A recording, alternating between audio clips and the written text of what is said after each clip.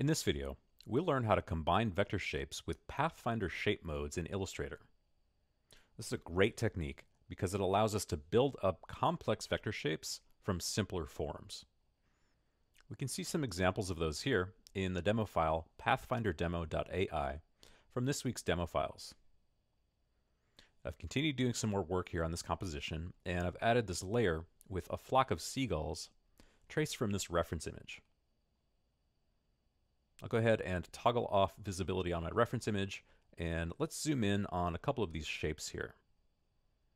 So I used a few different techniques while I was tracing these seagulls. Some of them I did a full silhouette completely closed, while others I built up from multiple shapes. Like you can see here, I have this small circular shape and then the wings as two separate objects.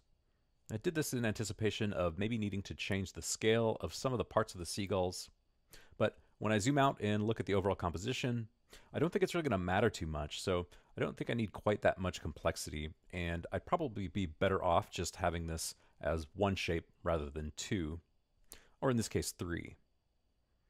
So luckily we can fix that really easily using the Pathfinder panel. And I can bring that up by clicking Window in the menu bar, then clicking Pathfinder. Pathfinder is pretty amazing, and it gives us lots of different tools for combining multiple vector shapes in different ways.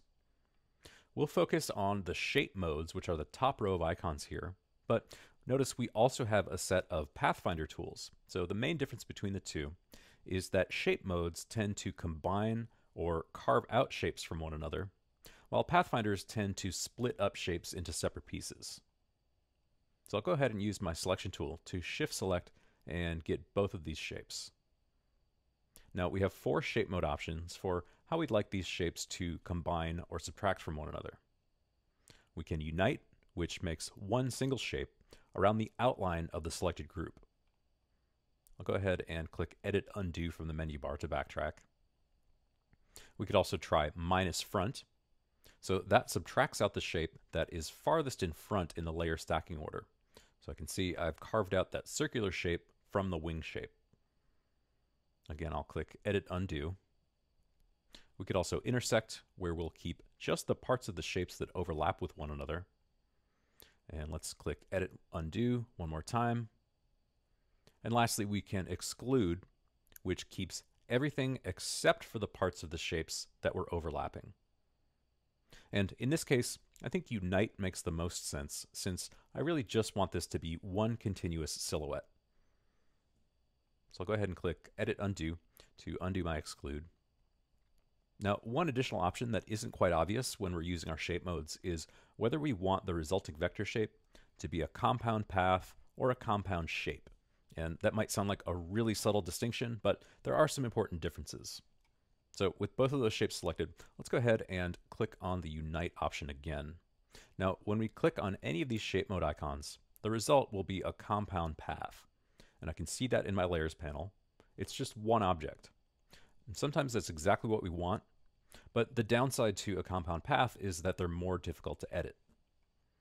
If we backtrack by clicking Edit, Undo one more time, Let's try that unite operation again, but this time I'll hold Alt or Option on the keyboard.